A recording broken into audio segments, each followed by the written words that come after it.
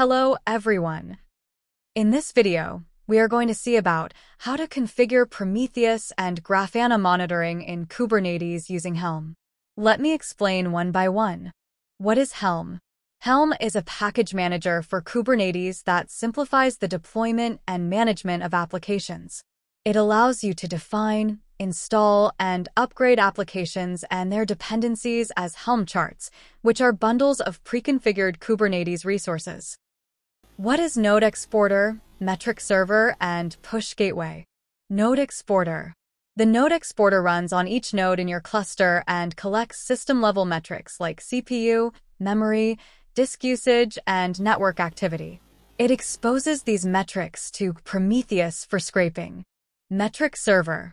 The metric server is a lightweight Kubernetes component that collects metrics about resource usage from the Kubernetes API server.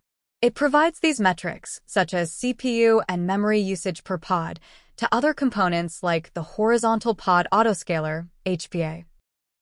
Push Gateway The Push Gateway is a service that allows short-lived jobs to expose their metrics to Prometheus. Since these kinds of jobs, may not exist long enough to be scraped by Prometheus. What is Prometheus and Grafana? Prometheus. Prometheus scrapes metrics from the node exporter, metric server, and any other targets configured in its scrape configuration. It stores these metrics in its time series database and allows querying using PromQL, Prometheus query language. Grafana. Grafana is a visualization tool that interacts with various data sources, including Prometheus. It allows users to create dashboards with graphs, charts, and other visualizations. Grafana queries data from Prometheus to generate visual representations of the collected metrics. Users can create custom dashboards to monitor and analyze their system's performance. And here's the Prometheus architecture. Let me explain it. We have the node exporter and metric server components. The node exporter collects node-level metrics from Kubernetes applications, while the metric server gathers pod-level metrics. Next, our Prometheus server retrieves metrics from both the node exporter and metric server using a pull mechanism and stores them in a time series database. Grafana then queries Prometheus using Prometheus query language to visualize the metrics. However, for short-lived jobs that terminate quickly, Prometheus may miss to pull their metrics, so we use Push Gateway to directly push these metrics to Prometheus. Prerequisites Kubernetes cluster with worker node in any cloud AWS, Azure, or GCP. Basic understanding of Kubernetes. What is covered in this video? Helm installation, Prometheus installation, Grafana installation. Grafana dashboard creation. Let's get into the hands-on part. I have already created an EKS cluster named My Cluster, which is in the active state. The Kubernetes version of the cluster is 1.29. Additionally, I have provisioned a single worker node of type T2.medium. I have already connected to my cluster via a terminal. Let me open it. I have saved my commands in Notepad. Let me open it. To install Helm, copy the first line and paste it into the terminal. Then copy the next command and paste it there. Finally, copy the following command and paste it there as well. After that, we will have installed Helm, and to verify the installation, we can use the command Helm version. Here you can see the version. Now go back to the Notepad, Prometheus installation. To install Prometheus, follow the commands, copy the first line, to add Prometheus chart to the Helm repo, and paste it here. Now go back to the Notepad and copy the next command to update Helm repo, and paste it here. Again go back, copy the next line to create file in the name of prometheus.yml and paste it here. Now go back and copy the below line and paste it inside the file. Here, I've disabled the persistent volume, changed the Prometheus service type to node port, and disabled the alert manager because we don't need it for now. Save and quit the file. Now go back to the notepad. And here is the command to install Prometheus and additionally we are passing values from file to override the default values. And here is the content which we are passing. Now copy the command and paste it here. Now check the resources using kubectl get all. Don't worry about the commands. We'll share them in the description. And here you can see, we have pod for kube state metric, node exporter, push gateway, and Prometheus server.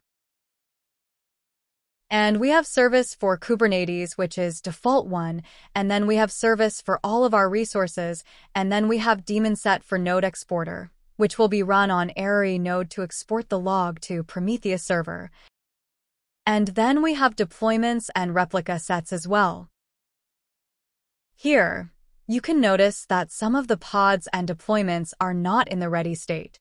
Let me check again, using kubectl get all, to see if they've stabilized. Yes, now all the pods and deployments are in ready state.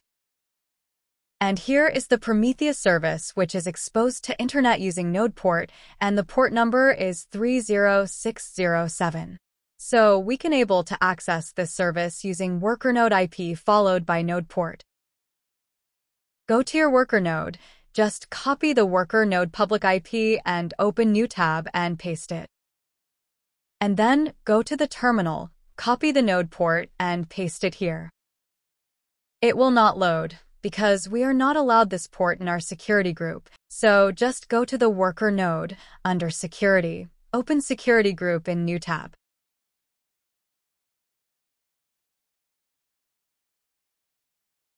Under the Inbound Rule section, you'll notice that only the SSH port is allowed. Now, I'm going to add another rule. Click on Edit Inbound Rules, then Add Rule, and select All TCP to allow all ports. Choose Anywhere as the source and click Save Rules. See here our page is not loading. Now it will load because we have allowed this port. Yes, we got our Prometheus dashboard successfully. Now click the status and then select the targets. You can see the endpoints for the Kubernetes API server and Kubernetes nodes, along with their labels. Prometheus endpoint and push gateway, among other details as well. Now click Graph, and then search as node and select Node Disk Info. And then click Execute. Here we can see the complete disk details of nodes. And click Graph here you can see the disk usage in Graph View. Now search as node underscore memory and select node memory active bytes. Click Execute, and you'll observe the memory details and usage of the node. Similarly, you can view all metrics here.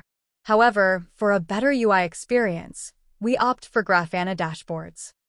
Let's configure the Grafana.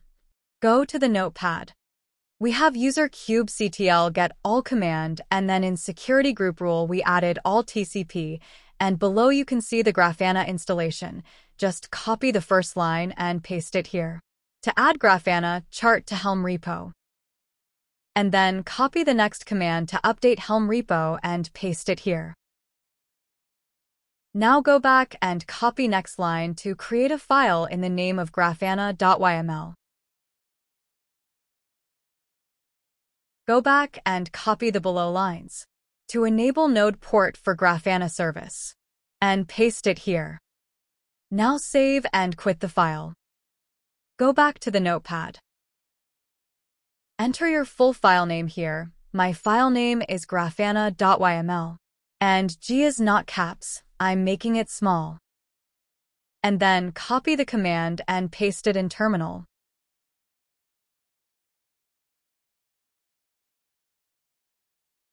Oh, we got an error because of wrong chart.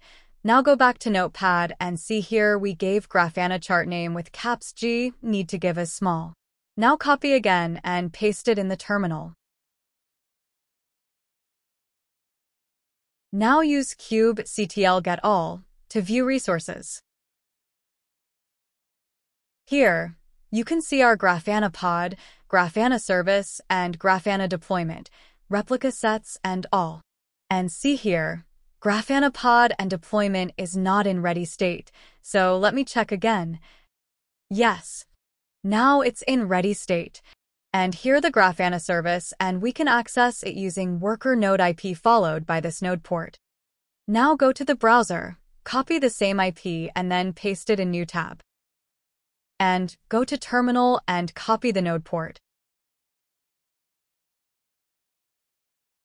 And paste it here.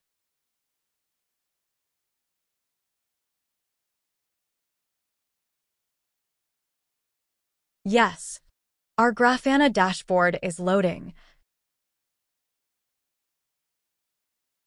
We got the login page, and default username is admin. For password, go to Terminal. Scroll up. Here the admin password. Just copy the command and paste it here to get the password from the secret. We got our admin password now. Just copy the password and paste it in login page. And click login. Now, we have logged in into our Grafana dashboard now click Connections, and then click Data Source. Here we need to add our source, from where we are going to get data.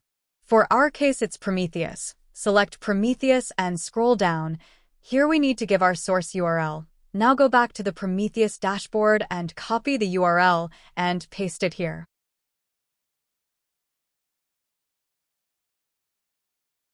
Now scroll down and click Save and Test. We have successfully added our data source, and then click Dashboard. Click Create Dashboard, and then click Add Visualization, and then select Prometheus. By clicking Create Dashboard, we can customize and design our own dashboard. Alternatively, we can import existing dashboards using their respective IDs for quick setup. For that, click New and select Import. Here we need to enter dashboard ID, so go back to Notepad. Here I have an ID 6417, which will give details of pod, deployments, and replica sets and all. Just copy the ID and paste it here. And click Load. Scroll down and select our data source, Prometheus, so that our Grafana dashboard can able to get metrics from Prometheus server. Now click Import. Here is our dashboard, and here we can able to view our cluster pod usage, cluster CPU usage, cluster memory usage, disk usage, and then all the deployment details together. And the number of running pods, pending pods, failed pods, and all. And that's it. We have successfully configured our Prometheus and Grafana dashboard for viewing metrics. What you learned from this video. In this video, you've learned how to set up Prometheus and Grafana with Helm for monitoring Kubernetes. Now, you can easily track metrics and visualize data, helping you to manage your Kubernetes environment more efficiently. This knowledge enables you to spot potential issues early and keep your applications running smoothly. Do you have any questions? Please feel free to comment or contact us at our email ID or contact us page. We will be happy to reply you. EasyDeploy is a Kubernetes consulting partner assisting organizations in adopting their containerization journey. We architect scalable and resilient Kubernetes clusters tailored to your specific requirements. Whether it's EKS on AWS, ECS on AWS, AKS on Azure, or GK on GCP, we ensure efficient deployment, seamless integration, and ongoing management to maximize the benefits of Kubernetes in the cloud. Thank you for watching.